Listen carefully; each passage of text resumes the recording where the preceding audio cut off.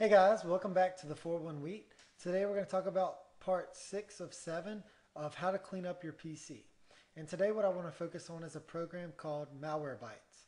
Now this is a program that acts alongside of, not in place of, an antivirus program. In a later date I'm going to cover antivirus and the different types of programs that are available for you to use. But today we're just going to talk about this program called Malwarebytes. So what Malwarebytes does is it searches your computer and removes Trojans and spyware and some viruses or malware, if you will, to an extent. It is a free and open source program, and to get it, you just go to their website, malwarebytes.org. When you get here, you could buy it and purchase the full version, but you don't necessarily have to have that for what we're going to talk about in this episode. So if you just click free download, it's going to prompt you to the CNET site for the download and click the green button for download now. Don't click anywhere else because you may be downloading something else that you don't want. Um, I always suggest when you download things to save them and know where you save them to. So this is going to save to my downloads folder and when it gets through saving we're going to go to that downloads folder and run it from there. So it's finished downloading. I'm just going to click on view downloads. It's going to bring up all my past downloads and I'm going to click run and otherwise you could go into uh, my computer and download or excuse me my computer and select downloads and it would be in that folder. So I am going to install the English version. We're going to click next. We have to accept their agreement to install it.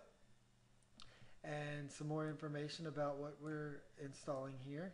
And then this is the folder where it's prompting us to install it. We'll just choose the default default location default name I'll create a desktop icon just to show you what it looks like and install.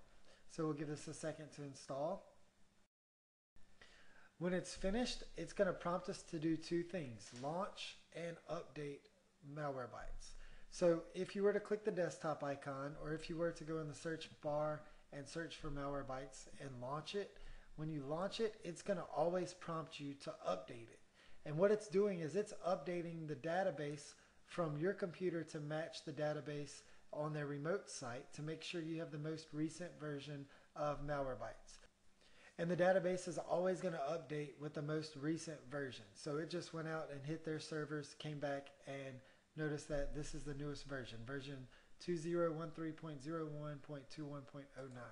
So I will click OK. I'll close out all of this just so it's not in the background. And there's the logo on the uh, desktop so you can see what you need to launch in the future once you're through with this. Now there's three options we have. We have a quick scan, a full scan, and a flash scan. And under each scan it tells you what it's actually searching on your computer and what it's doing. So starting here, a flash scan will analyze the memory and auto run objects. Um, we didn't pay for the version of, for Pro, so we can't run this flash scan because it's only for licensed users. These two are the ones we're going to stick with the most, the quick scan and the full scan.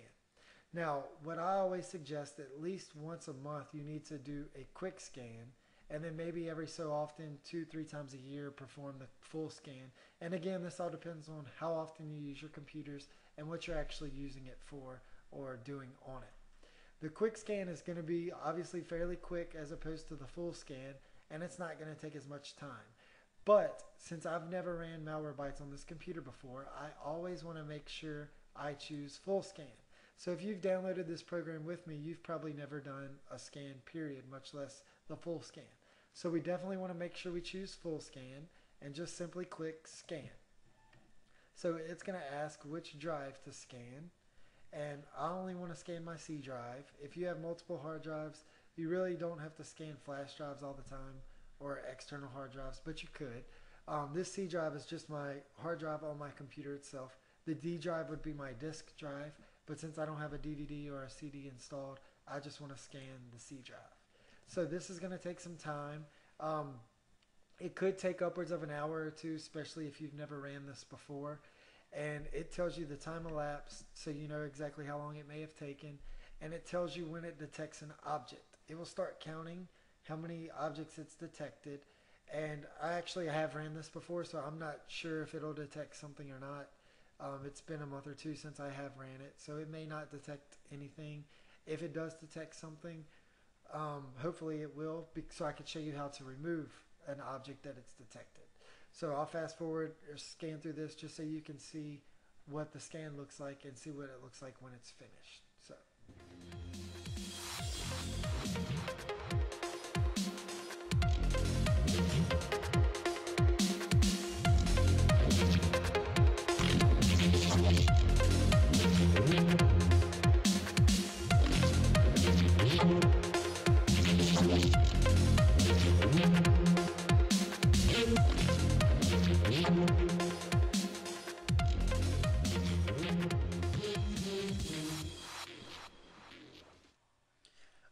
So my scan's completed, and if you notice, it took two hours and 38 minutes, and no malicious items were detected throughout this scan.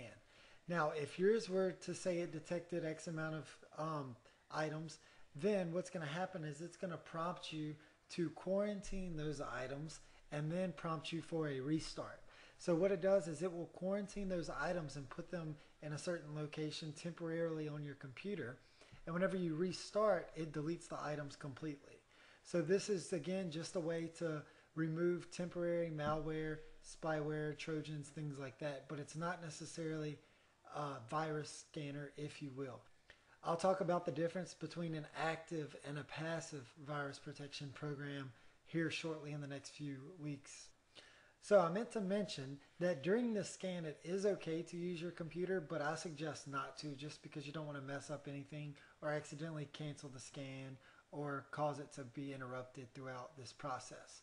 So when it finishes, I'm just going to click OK and I can close this log file that it uh, produced for me to let me know where it checked and that nothing's detected. And again, all this is doing is checking our computer to see if anything is in there that shouldn't be. This isn't, quote, an antivirus, if you will. This is just a program that removes certain malware. This is a very good program. I suggest again to run it maybe once every month, every other month, and perform the, the quick scans in those cases, and then perform the full scan maybe once every few months or especially the first time you've ever used it. Every time you open Malwarebytes, it will prompt for an update and all that's doing is hitting the Malwarebytes servers and making sure you do have the most up-to-date version of Malwarebytes. And this was the free trial. The pro version is something that does a little bit more. It's more of a virus scanner that is current is constantly running on your machine as it's turned on. Um, you don't have to have that one to use it. This one will pretty much be just fine for what you may need it to do. If you have any questions regarding this, please let me know. Thanks for watching. Have a nice day.